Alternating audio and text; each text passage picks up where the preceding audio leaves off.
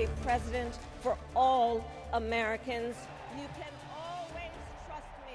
An historic moment on the final day of the Democratic National Convention. Vice President Kamala Harris accepting the presidential nomination, making her the first black woman and South Asian woman to be the nominee of a major political party.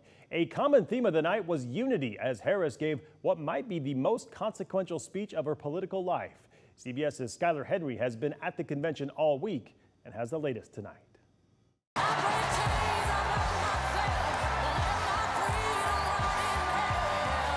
Chicago's United Center was at peak capacity when Vice President Kamala Harris took to the stage to accept her party's nomination. I accept your nomination to be President of the United States of America.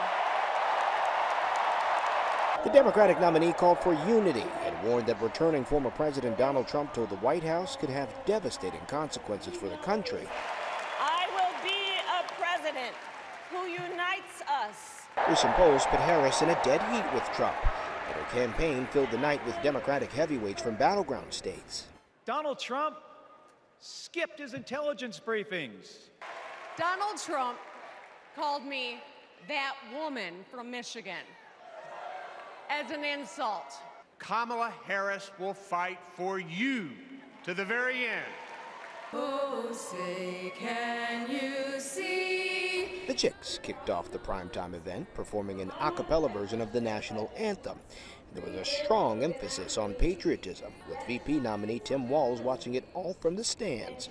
Delegates also wore white, a nod to suffragists who fought to earn the right to vote more than 100 years ago. And the theme of joy stayed consistent to the end. Skyler Henry, CBS News, Chicago.